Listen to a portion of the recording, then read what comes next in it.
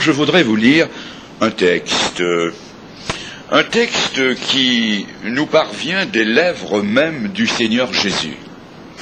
Et dans l'évangile de Matthieu, au chapitre 6, il nous a dit ceci.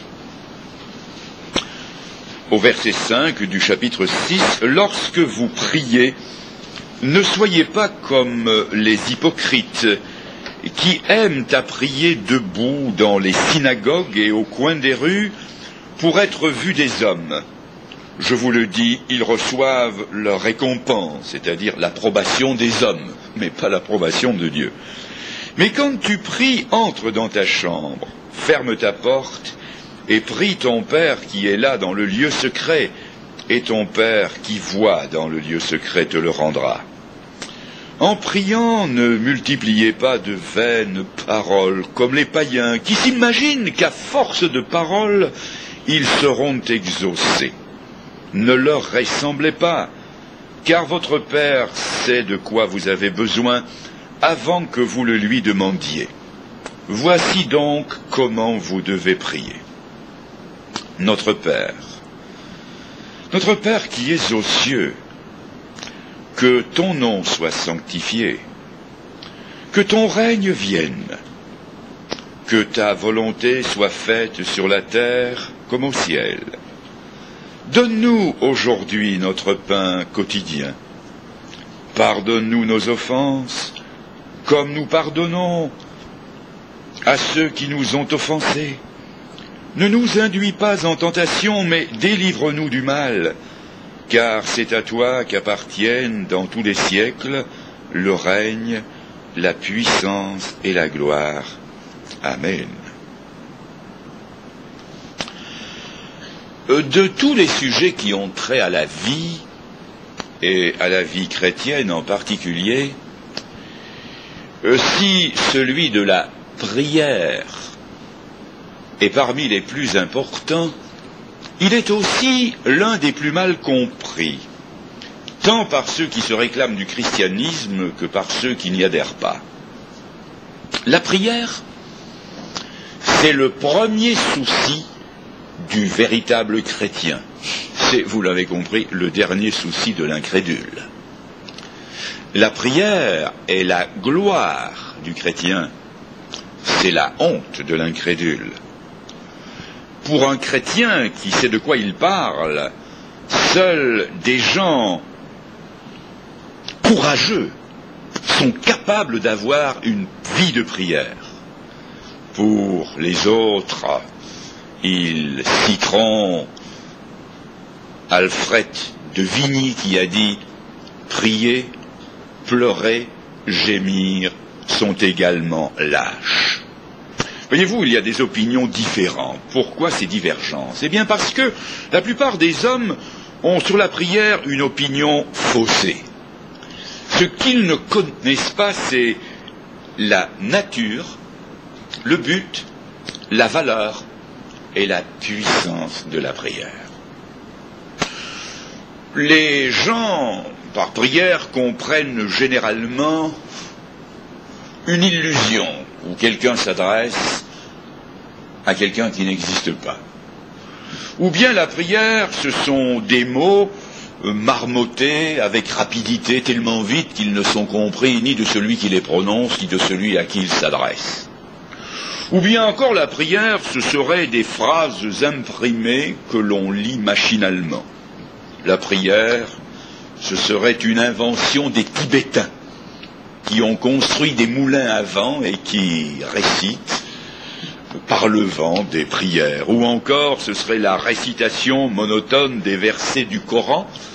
Ou encore la prière, ce serait la répétition inlassable de Notre Père qui est aux cieux, Notre Père qui est aux cieux, Notre Père qui est aux cieux.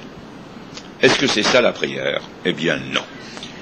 Et si quelqu'un parmi nous n'aurait fait que cela, il n'aurait jamais prié une seule fois dans sa vie. Et pourtant, c'est la prière modèle enseignée par le Seigneur qui va retenir notre attention ce soir. Cette prière universellement connue dans le monde chrétien. qui est apprise depuis la plus tendre enfance, qui est récitée dans toutes les liturgies chrétiennes, que l'on connaît par cœur, tellement par cœur qu'on peut la réciter sans penser à ce que l'on dit. Alors, voyons un peu les propositions au fur et à mesure qu'elles se présentent à nous. D'abord, le Seigneur commence euh, en disant notre Père. Alors, il est bien clair que pour pouvoir articuler la première partie de cette prière, notre Père, il faut que Dieu soit notre Père. Alors je vous pose la question, est-ce que Dieu est votre Père? Dire comment? Mais, mais, bien sûr Mais Dieu n'est-il pas le Père de tous les hommes? Mais pas du tout. La Bible nous enseigne que Dieu est le Père de ses enfants. Et ceux-là seuls qui sont devenus ses enfants par la conversion peuvent l'appeler Père. Dans le prologue de l'évangile de Jean, il est écrit Jésus est venu chez les siens, et les siens ne l'ont pas reçu.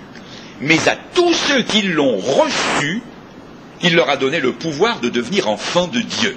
Il faut donc recevoir le Seigneur dans sa vie comme son sauveur personnel pour devenir enfant de Dieu. Tous les hommes sont créatures de Dieu, mais toutes les créatures ne sont pas enfants de Dieu. Laissez-moi expliquer cela. Euh, tous les Suisses sont européens, mais tous les Européens ne sont pas Suisses. Alors quelqu'un va peut-être me poser une question, mais, alors qu'est-ce qu'un enfant de Dieu? Eh bien, je réponds à cette question par une autre question. Qu'est-ce qu'un Suisse? Eh bien, avant de vous dire ce qu'est un Suisse, je vais vous dire ce que n'est pas un Suisse. Un Suisse, ce n'est pas quelqu'un qui parle le français, ou l'italien, ou le Schweizerdeutsch. Euh, vous pouvez connaître euh, ces trois langues et ne pas être suisse. Un Suisse, ce n'est pas quelqu'un qui habite en Suisse. On peut très bien habiter en Suisse et ne pas être suisse. Un Suisse, ce n'est même pas quelqu'un qui paye ses contributions à l'État suisse.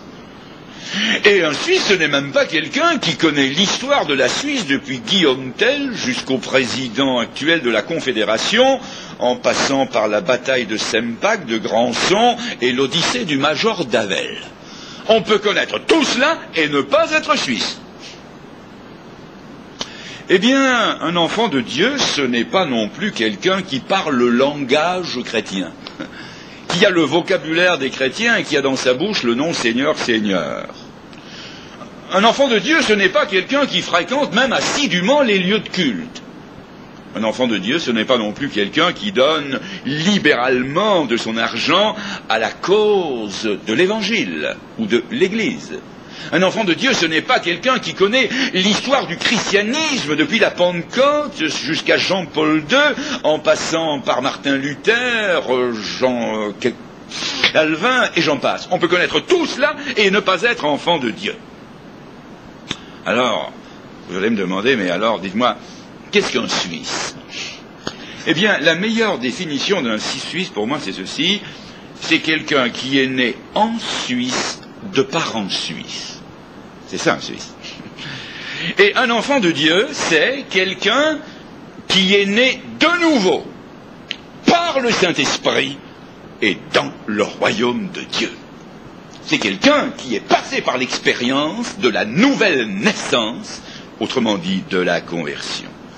Aussi, avant de pouvoir prononcer la première partie de cette prière, il faut répondre à la première condition, être enfant de Dieu notre Père. Est-ce que Dieu est votre Père? Êtes-vous devenu enfant de Dieu? Sans cette condition, vous pourriez répéter cette prière mille fois. La répéter dans des amplificateurs, elle ne dépasserait pas le plafond. En tout cas, elle n'atteindrait jamais le ciel. Notre. Notre Père qui, est, qui est aux cieux. Avez-vous compris ce que cela veut dire? Dire notre Père qui est aux cieux, c'est reconnaître à Dieu sa majesté, sa gloire et son omnipotence. C'est lui reconnaître ses perfections absolues et ses droits non moins absolus sur notre vie. Dire notre Père qui est aux cieux, c'est dire que nous, nous sommes sur la terre. Et que entre nous et lui, il y a un abîme. Non pas l'abîme des distances, mais l'abîme dont nous parle le prophète Ésaïe. Ce sont vos péchés qui ont fait séparation entre vous et votre Dieu. Entre nous, pécheurs, et la sainteté de Dieu, il y a cet abîme de nos péchés. Dire notre Père qui est aux cieux, c'est reconnaître à sa personne des qualités dont nous sommes dépourvus. C'est un aveu de culpabilité, de déchéance, de péché. C'est accepter la sentence divine qui dit il n'y a pas de juste, pas même un seul. Tous sont péchés, sont privés de la gloire de Dieu. C'est reconnaître à Dieu tous ses droits et c'est nous reconnaître coupables. C'est cela, dire notre Père qui est, qui est aux cieux, avec tout ce que cela implique. Notre Père qui es aux cieux, que ton nom soit sanctifié. Ça veut dire que ta sainteté, cette sanctification, ta sainteté, que ta sainteté soit démontrée, soit rendue évidente. Où et par qui? Mais dans la vie de celui qui prie cette prière. Seigneur, que ton nom soit sanctifié dans ma bouche et dans ma vie. C'est prendre un bel engagement. C'est exprimer le désir ou le vœu que dans nos pensées, dans nos paroles, dans nos actions, on y verra vivre quelque chose de la sainteté de Jésus-Christ. Dire que ton nom soit sanctifié, et sanctifié veut dire séparé, c'est se séparer d'habitudes coupables et en prendre d'autres qui honorent Dieu. C'est se séparer d'un certain vocabulaire, se séparer d'un certain genre de vie, de certains endroits, de certaines lectures, de que ton nom soit sanctifié. Est-ce que vous êtes prêt à dire, mon Père, qui est au ciel, que ton nom soit sanctifié. Que ton règne vienne. Oh, d'un large coup d'œil, nous pouvons embrasser le monde et en voyant l'état dans lequel il est, et tout ce qui s'y passe qui nous fait frémir. Je ne veux pas rapporter ici ce soir des drames horribles à l'échelle de la planète et, et tout ce qui nous attend, alors on serait tenté de crier Oui Seigneur, viens Seigneur, que ton règne vienne. Et bien sûr, son règne viendra. Il l'a promis, c'est lui qui aura le dernier mot, et il y aura un règne de Dieu sur cette terre. Et Jérusalem sera la capitale du monde. Cela viendra, mais voyez-vous, nous risquons fort de voir très loin et d'oublier de voir plus près c'est que Dieu veut peut-être mettre, veut bien sûr mettre son règne dans ce monde, mais il veut surtout mettre son règne sur le plus petit centre du monde, c'est-à-dire dans notre cœur. C'est là que Dieu veut mettre son trône, veut mettre euh, ses rênes. Et dire Seigneur que ton règne vienne, ça veut dire Seigneur que ton règne vienne dans ma famille, qu'il vienne dans mon cœur, que ton règne vienne dans mes affaires, que ton règne, Seigneur, vienne dans ma vie. Notre Père, qui es aux cieux, que ton nom soit sanctifié, que ton règne vienne, que ta volonté soit faite sur la terre comme au ciel, c'est-à-dire, Seigneur, sans rien qui s'interpose entre elle et son exécution. Et l'exemple, et le seul exemple de la volonté de Dieu parfaitement accomplie se trouve en Jésus-Christ et en Jésus-Christ seul. Quand Dieu regardait la terre et le monde et l'univers tout entier pour trouver le sauveur, la victime expiatoire, celui qui viendrait, et qu'il a dit qui enverrai-je? C'est alors que son propre fils le Verbe préincarné s'est présenté en disant, c'est l'épître aux Hébreux qui nous le rapporte, me voici, ô Dieu, pour faire ta volonté. Et pour faire la volonté de Dieu, il est venu de son ciel sur une planète en révolte. Et il est né, nous savons comment, dans une écurie. Et toute sa vie, il a pu dire, je ne cherche pas ma volonté, mais la volonté de celui qui m'a envoyé. Et quand un moment de sa vie, vers la fin, il s'est trouvé dans ce terrible jardin de Gethsemane, dans cette nuit horrible, et que là, tout seul, éloigné de ses disciples d'un jet de pierre, il s'est jeté par terre en prière, et qu'il a vu apparaître dans une vision devant lui une coupe, dans laquelle il y avait tous les péchés du monde, et que là, les vaisseaux capillaires de la face ont sauté au point que sa face a été inondée de sang. Il s'était crié devant cette horreur, cette horreur, lui, le saint Fils de Dieu, il criait, Seigneur, Père, s'il est possible que cette coupe passe loin de moi sans que je la boive. Toutefois, non pas ma volonté, mais la tienne. Et trois fois, dans cette agonie, il a prié cette prière et il a accepté de prendre cette coupe et de la boire jusqu'au bout. Et il l'a bu à la croix du calvaire. Et là, son dernier cri, ou à peu près, était Tout est accompli. Toute la volonté de Dieu a été accomplie. Il n'y a que lui qui l'a accompli. Et mes amis, si nous devions, pour être sauvés, accomplir la volonté de Dieu, il n'y aurait plus devant nous que le désespoir, car jamais personne ne l'accomplit, cette volonté, que Jésus-Christ, mais il l'a accompli pour nous, pour nous mettre en compte tout ce qu'il avait fait. Et voilà la volonté de Dieu pour nous. Dans le livre des Actes, au chapitre 17, l'apôtre Paul, l'illustre apôtre Paul, se trouvant à Athènes, a prêché devant ces Athéniens, l'élite intellectuelle de cette ville, il leur a dit, Dieu, passant par-dessus les temps d'ignorance, ordonne maintenant à tous les hommes qu'ils aient à se repentir. La volonté de Dieu pour nous, ce n'est pas d'accomplir la loi divine, nous n'y arriverons jamais, ni la loi du sermon sur la montagne, nous n'y arriverons jamais.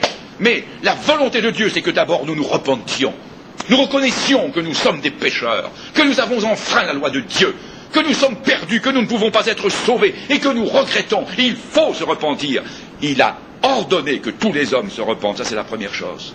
Puis après, la repentance, il va dire, le Seigneur dit, c'est ici la volonté de mon Père, que celui qui contemple le Fils et qui croit en lui a la vie éternelle. Après la repentance, c'est la foi.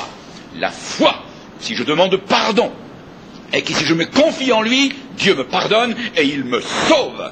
Et puis le troisième résultat, c'est que le Seigneur a dit, Père, c'est ici ma volonté. Quant à ceux que tu m'as donnés, c'est que là où moi je suis, ils y soient aussi et qu'ils voient la gloire que j'avais auprès de toi. La repentance d'abord, la foi ensuite, et alors le salut, le ciel enfin. Il nous est garanti moyennant la repentance et la foi. Notre Père, que ta volonté soit faite sur la terre comme au ciel, et puis donne-nous aujourd'hui notre pain quotidien. On a transformé un peu ça ces derniers temps, j'en ai compris pourquoi. J'aime mieux cette expression. Notre pain de ce jour, oh, je veux bien, moi, mais notre pain quotidien, ça veut dire la même chose. Donne-nous aujourd'hui notre pain.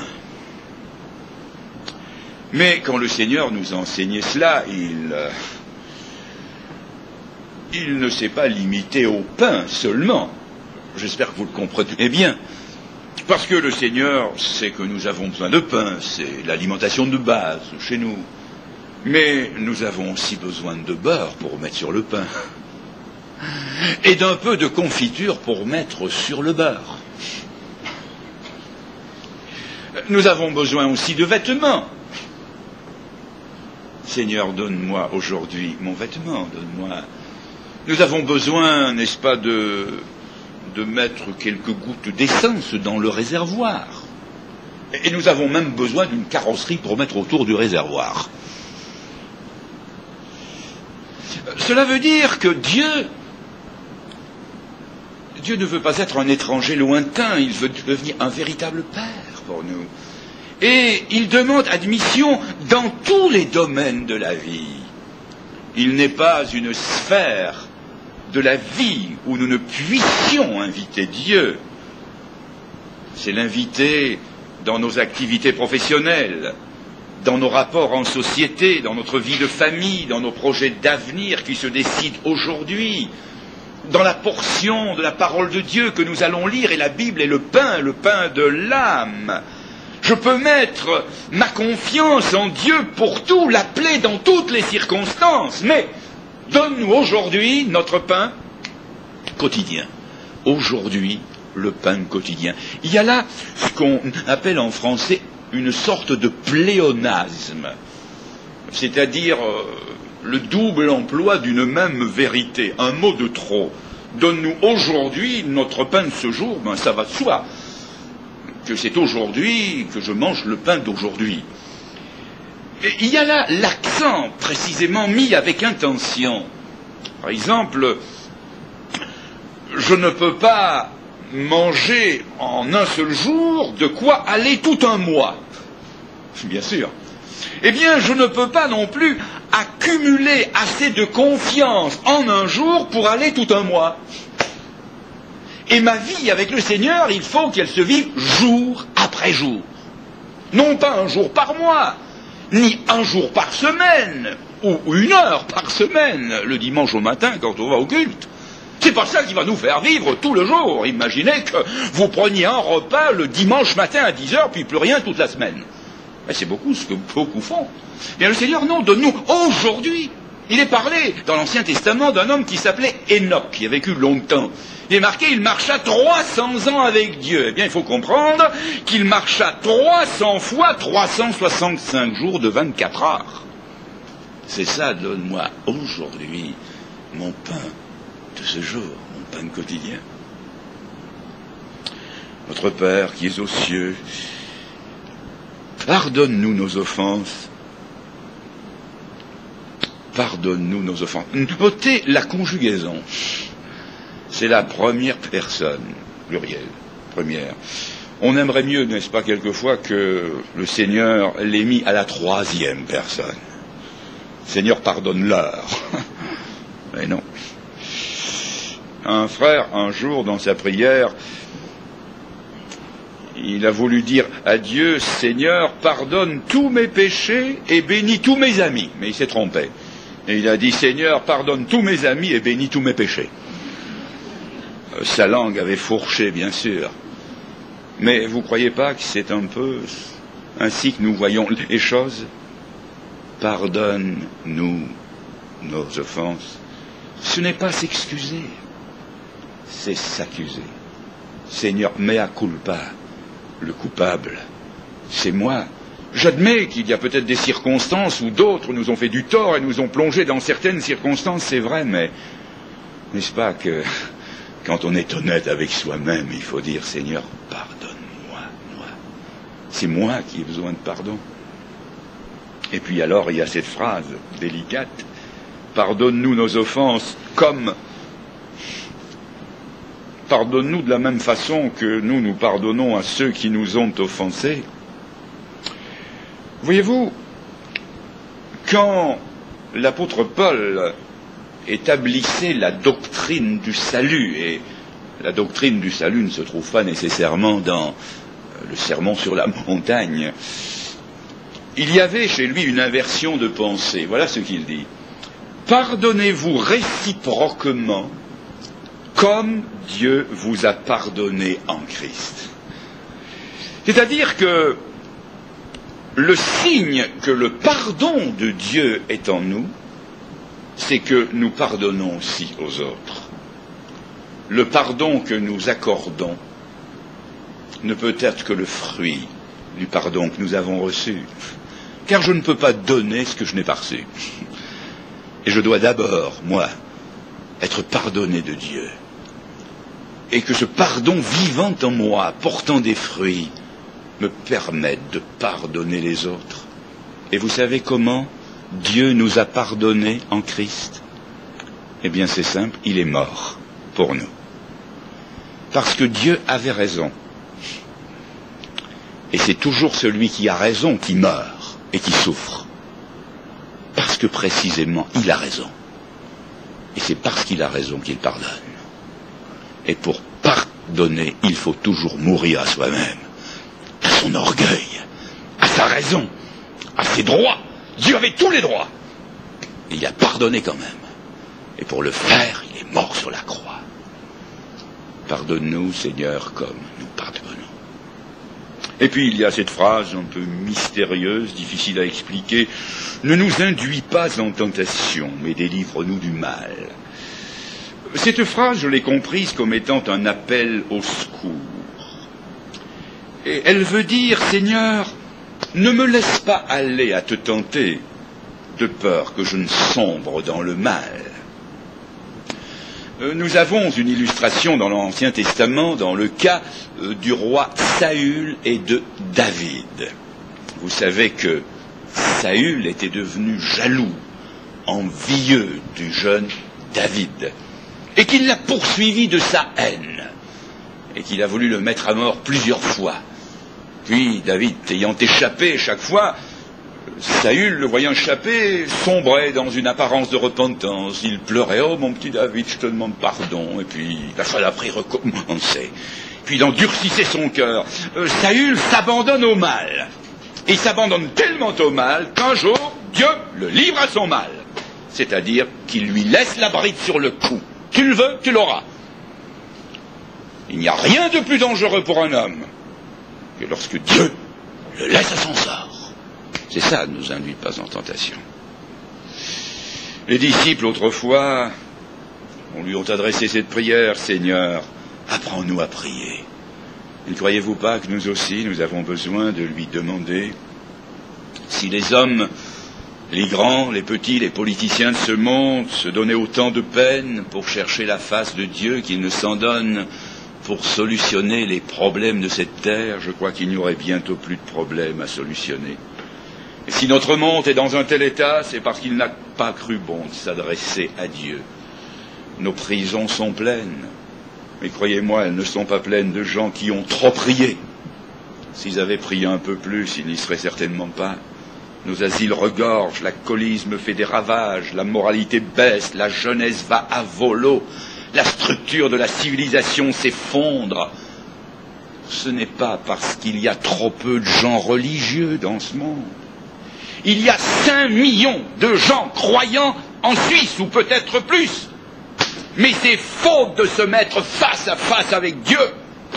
Honnêtement. Mais non, on préférera faire mille prières qui ne coûtent rien, notre Père qui est aux cieux, notre Père qui est aux cieux, et le répéter à l'infini, plutôt que d'en faire une, une seule, celle de la conversion à Dieu, celle de la repentance et de la foi, celle que Dieu attend parce que quand il a de telles prières, croyez-moi, mes amis, la prière alors change les choses et les gens. Je pense à Saul de Tarse dans le livre des actes des apôtres. Saul de Tasse, rempli de haine, respirant, dit la Bible, la haine et le meurtre contre l'Église de Jésus-Christ, muni des lettres de plein pouvoir. Il a satisfait sa vengeance à Jérusalem. Il lui faut un nouveau champ d'action. Il ira jusqu'à Damas s'il le faut pour déchirer les familles, briser l'Église chrétienne et mettre les gens en prison. Et voilà que sur le chemin de Damas, tout à coup, dans un éclair, dont la lumière surpasse celle du soleil, le Seigneur Jésus-Christ lui-même descend, terrasse l'homme au sol. Et là, Saul entend cette prière. Saul, Saul, pourquoi me persécutes-tu? Qui es-tu, Seigneur? Je suis Jésus que tu persécutes. Et Saul de Tarse va devenir aveugle pendant trois jours. On le conduira. Il ira en tâtonnant dans une maison. Il restera trois jours. Et pendant ces trois jours, il est dit, il prie. Mes amis, qu'est-ce qui va se passer dans l'âme de cet homme? Quand il est entré dans cette maison, c'était Saul de Tarse. Il en sortira l'apôtre Paul. Il y entre comme un lion, comme un tigre plutôt. Il en sort comme un agneau. Il y entre avec le cœur plein de haine. Il en sort pour écrire le chapitre monumental sur l'amour de 1 Corinthiens 13. Il y entre pharisien. Il en sort disciple de Jésus-Christ. Il y entre persécuteur de l'Église et il en sortira maintenant un homme persécuté qui ne mettra plus les autres à mort, mais qui ira jusqu'à la mort pour la cause de celui qu'il a tant combattu. Oh oui, mes amis, la prière change les choses et les gens.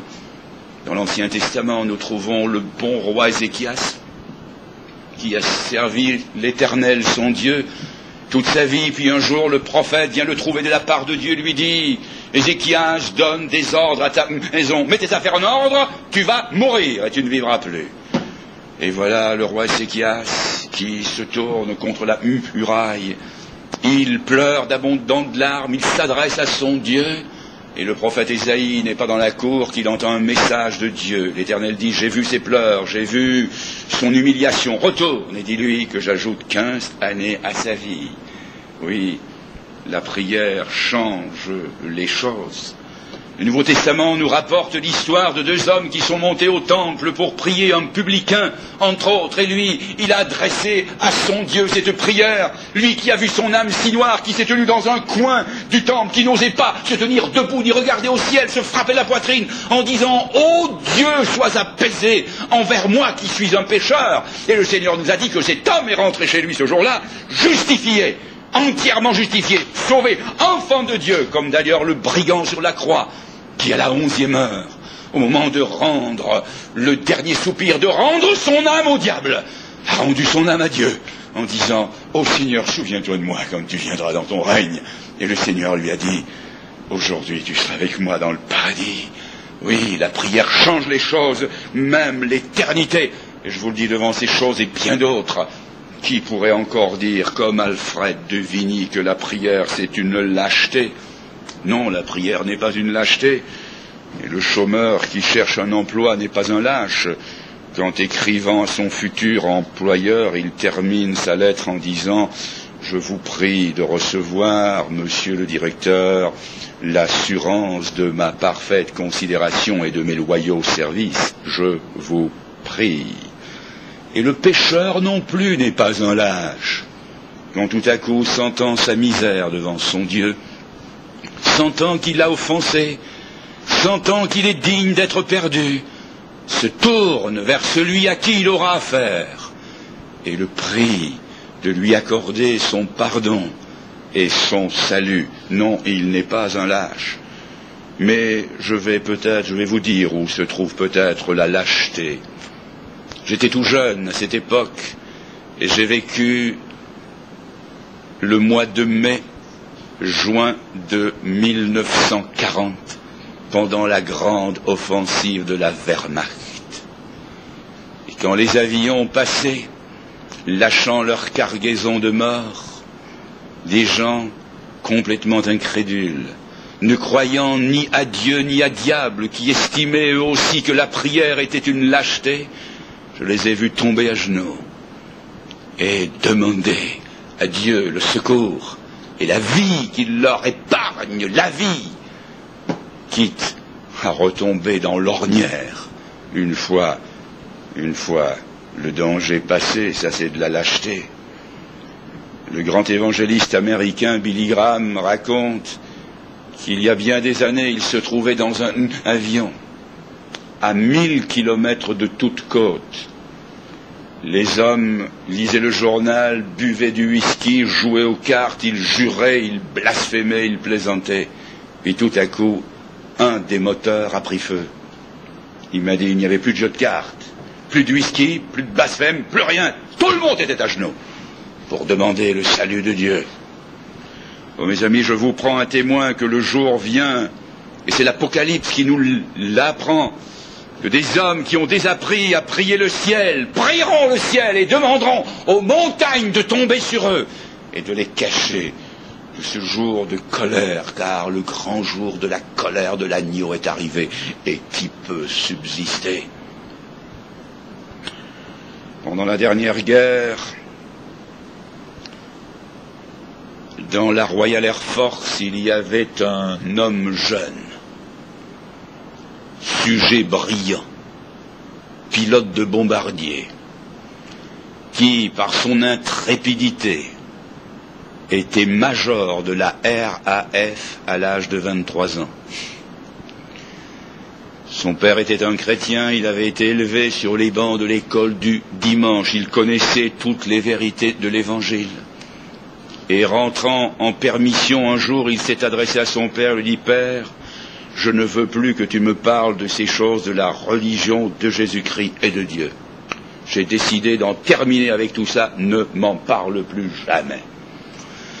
major de l'aviation à 23 ans, 52, 51 ou 52 missions de bombardement réussies sur l'Allemagne hitlérienne. Puis il y a eu la 53e. Et là, la chance a tourné. Et en rentrant, au-dessus de la mer du Nord, l'avion était touché, l'avion était en feu. Il a ordonné à l'équipage de sauter. Il a bloqué les commandes. Et à son tour, il a sauté. Il n'avait pratiquement aucune chance de s'en tirer. D'une façon assez miraculeuse, il s'en est tiré. Et en sautant, il s'est mis à prier le Dieu de son Père. Quand il a touché l'eau qui a été recueillie, sa vie n'a plus jamais été la même. Et il a rendu ce témoignage-ci. Quand j'ai quitté l'avion en flammes, j'étais en route pour l'enfer. Quand j'ai touché l'eau, j'étais en route pour le ciel. Que s'était-il passé? Entre-temps, il y avait eu ce contact de son âme avec son Créateur, celui à qui il avait affaire.